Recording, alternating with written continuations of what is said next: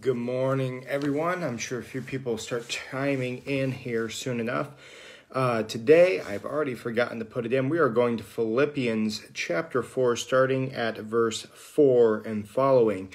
Um, so that's where we're going to be today. We're going to talk a little bit about rejoicing in the Lord even during times of trial. Philippians being the great book of, um, of rejoicing, joy. So, again, we're going to go to Philippians chapter 4, uh, starting at verse 4. Kind of a shorter devotion today, just to kind of wrap up everything we've been through. I'm going to put that in my comment sec- sections here. Um, through, we are going down to 9. There we go. All right. Good morning, Leanne and Shirley. Um, so, yes we are uh, going to go into the book of joy and talk a little bit about joy even in the midst of hardships as i was mentioning already. Uh, it's a kind of a dreary morning uh, so it's kind of interesting. I have some lights so hopefully it's not going off too uh, too much behind my clock here and, and blinding everybody. I kind of see it so i've been trying to keep my head over here. Uh, so we are going to philippians uh, chapter 4 let us begin Paul writes, Rejoice in the Lord always. Again, I will say rejoice. Let your reasonableness be known to everyone. The Lord is at hand. Do not be anxious about anything, but in everything, by prayer and supplication, with thanksgiving, let your requests be made known to God. And the peace of God, which surpasses all understanding, will guard your hearts and your minds in Christ Jesus. Finally, brothers, whatever is true, whatever is honorable, whatever is just, whatever is pure, whatever is lovely, whatever is commendable, if there is any excellence, if there is anything worthy of praise, think about these things. What you have learned and received and heard and seen in me, practice these things, and the God of peace will be with you. Good morning, everyone. Uh, yeah, Connie, Joan, uh, uh, Wanda. I'm sorry, I need my reading glasses at this rate here. I swear I'm starting to get into that stage where I'm going to need new glasses. Um, so if I'm not seeing everybody on here, I'm I am looking for you there. So here in Philippians chapter four, um, rejoice in the Lord always. But sometimes I don't feel like rejoicing. So what's up with that? You know, as Christians, we do have so much to rejoice in each and every time, especially as we're here in the Easter season. We're remembering exactly what God has done to reconcile us and bring us back to His table. That beautiful and lovely uh, remembrance is the reason that we can rejoice at all times and in all places. Um, you know, it's interesting. A, a, great person to go back and read uh, a book that's been around for a long time um, are the books that have been written uh, biographical books that have been written by Corrie ten Boom, who of course was in a concentration camp, now uh, Christian and in faith, has a very interesting perspective on life. Um, and there's some very great uh, kind of one-liners in her biography. Um, that really kind of make you stop and think that even in the midst of utter evil, tragedy, heartache, uh, and problems, there's much cause that we have to rejoice. And again, you know, sometimes we think, oh, well, Paul is, he's just an eternal optimist and he doesn't really have much going on. Well, you know, he's going through one of the worst persecutions, at least towards the end of his ministry, that's ever going to start. I personally believe he's probably executed under the reign of Emperor Nero. Um, and that's he's not a nice guy. Uh, there will be other emperors that are worse, but you remember he's he's saying, rejoice even in the midst of those things. And so we always have reason to rejoice and we always have reason to hope because hope has been given to us. You know, in the ancient world, um, they didn't really use the word hope, not a lot. You can, I, even right back here, I have all my Greek authors and the like, and Hope is not a concept that most people have. And yet in Christianity, once the Christianity is on scene, hope becomes this huge thing. That we actually have something to look forward to, that we have something that's beyond just death and Hades and the underworld. We have, uh, yes, death, but life everlasting. Let your reasonableness be known to everyone. The Lord is at hand. There's also this understanding in Paul's time, they really truly thought, and you can see it especially in Thessalonians, that Jesus was going to come back pretty immediately, pretty soon, even in their own lifetime, in their own generation. Obviously, that didn't happen. But they were always ready, always watching, always praying. They were even getting very concerned that maybe they had missed the boat. Maybe had Jesus had come back already. Um, and so there was always this kind of tension between the worldly powers and the spiritual stuff going on. Um, and Paul's saying, calm down, let your reasonableness be known. Even in the midst of suffering, even in the midst of um, heartache and tragedy, let your reasonableness show forth. Um, our emotions can sway and change real easy. And we need to make sure that we, we, yes, we should be emotional at times and the like, but we need to remember that we don't want to be led around by them, especially to our detriment. So do not be anxious about anything. Again, that sounds so easy to write or say. I don't know if it's always easy to practice. But he does give you something else. Instead of being anxious, in everything, by prayer and supplication, with thanksgiving, even giving thanks for the trials that we go through, let your requests be made known to God. And the peace of God, which surpasses all understanding, will guard your hearts and your minds in Christ Jesus. Um, you know, we have that hymn, "Take it, to, uh, take it to the Lord in prayer." Um, sometimes we forget to do that. Another thing that, um, and I have to find it. I know Sarah has it somewhere around. It's probably packed away. It's a little clipping of a quote that uh, I think came from a church that we, uh, my vicarage congregation, Wheaton, Illinois. And the quote went like this, and here's something for you to think about. Most of us don't pray, we just rehearse our anxieties out loud. Most of us don't pray, we just rehearse our anxieties out loud. I know I'm guilty of that on multiple occasions. Are we asking for something? Are we seeking God's will in prayer and our readings and devotions? Or are we just being anxious? Um, being anxious before our heavenly father is not a bad thing because he, of course he knows that we already are anxious. But maybe use that next time that you're anxious and bringing things into prayer. What are you really doing? Are you asking for something? Are you seeking god to do something? Finally brothers whatever is true whatever is honorable whatever is just whatever is pure whatever is lovely whatever is commendable if there is any excellence if there is anything worthy of praise think about these things. We have a lot of things to focus our minds and our hearts on, even in the worst times, um, that sometimes we forget about. Um, yes, of course, you can always look out at the weather, which has been all sorts of different things since we've moved here to Minnesota. Uh, but, you know, uh, looks like we're going to get rain even right now. Um, but there's many things that we can think about. Unfortunately, I think uh, can't always prove this.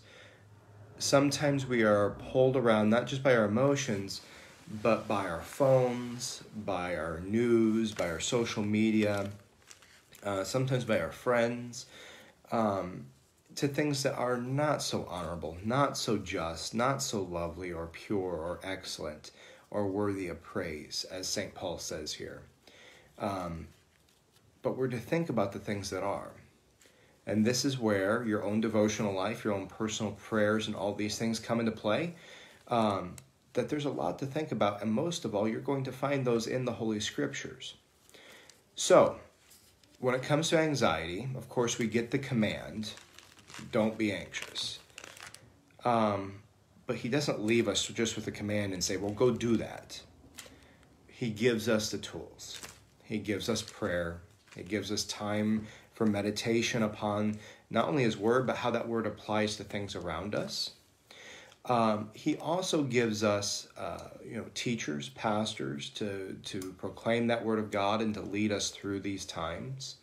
He gives us the fellowship of saints, which that's what I find to be, I guess, the most insidious thing about this sheltering in place is it actually does take us away from that body of Christ and that that togetherness. Um, which you know Jesus says where two or three are gathered in my name.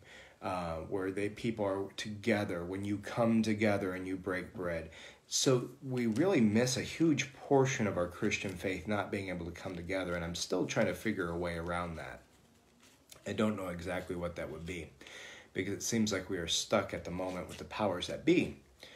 But um, there is, he does give us these things. He gives us the word, he gives us the sacraments. He gives us very tangible things that take us outside of our anxiety and worry and show us no, Christ has still died. Christ has still given us his body and blood.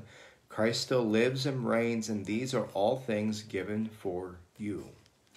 So, you know, sometimes, and I know it's a lot easier said than done, especially if you suffer from kind of one of these anxiety disorders or depression disorders. Um, anxiety can be one of those things that can be di- difficult to deal with, and, and the, we have resources out there to help with uh, counselors and psychiatric care and the like, and it's good to seek those things. Sometimes we need that help. Um, but other times, I think we just kind of start to dwell in our hearts a little bit too much um, and if we're going to do that, we should probably take Christ with us. We take Christ wherever we go. And so think about Philippians chapter 4 as your day goes on, as your week uh, weekend comes in.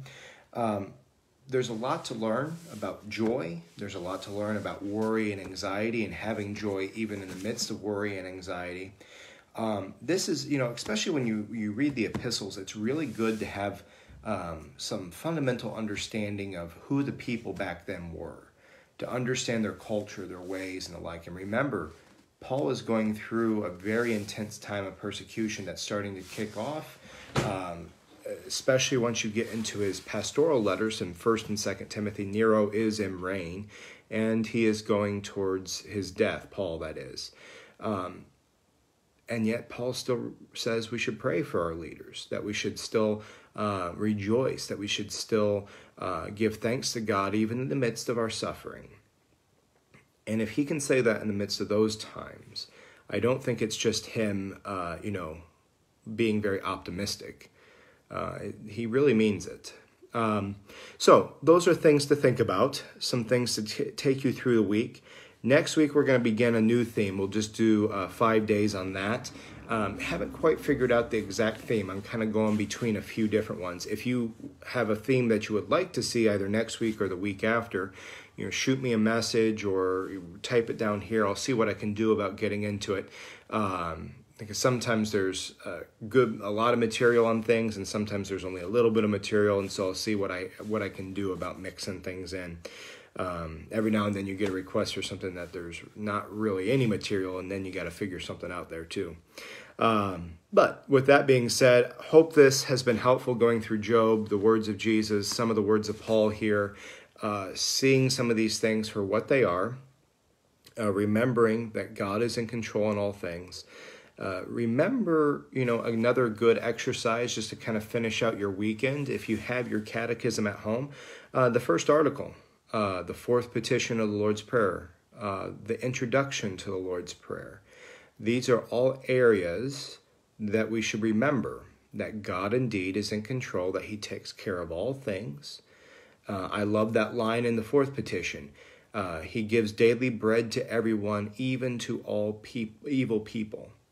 Um, God's still going to take care of things the way He's going to take care of them. We are just to take what He gives us, to pray, praise, give thanks, and to receive His Word and what He has revealed to us with thanksgiving. I know easier said than done, but again, we can only know what God has in store from what He has given us, and that's from the Holy Scriptures. And so that's where we as Christians, we especially as Lutherans, will continually to look because at the end of the day, I just want to do what Jesus has told us to do. Um, at least that's kind of how I feel about it. And the only way I know that is through what the scriptures tell us. So we have lots more to study, and of course, tons of time in the future to study many different things. If you, as I said, if you ever have a, a, theme for devotions that you want to go through, again, themes right now, books of the Bible will do once we are able to kind of get some Bible studies and people together. Um, and there's there's good ones that I have coming up for you. One of my favorite things to do is to teach. Uh, so we will we'll take some good time to go through some uh, really interesting things in the future. I can't wait to get started. I got my material already starting over here in my bag uh, for our first study. I just got to get people together for it. Um, so all in due time, uh, we will get there. All right, if you have any questions or prayer requests, you can type those down below. Uh, we are getting ready, of course, to go into the weekend, and then Monday we'll pick up again at 9 and uh, we'll start with a new theme. So I'll give a little bit of time because I'm going to drink some coffee now. This weather kind of keeps me tired.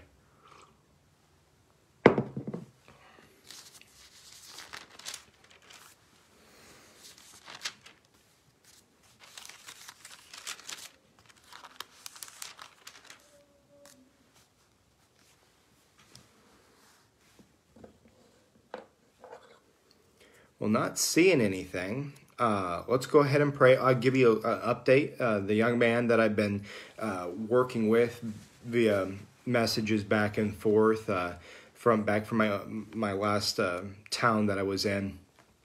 He he's coming along slowly. Uh, it's going to be a long process, but continue to pray for faith and the Holy Spirit to work in this young man's life. Um, it, is interesting to see how the world uh, so easily influences us and changes us. Uh, that's a whole study for us one day um, as members here of Trinity and Concordia. Uh, that's that's that's a that's a study in and of itself that maybe we'll undertake one day. Um, but there's some man, it's it's kind of interesting watching some of this talked through. So let us go ahead and pray.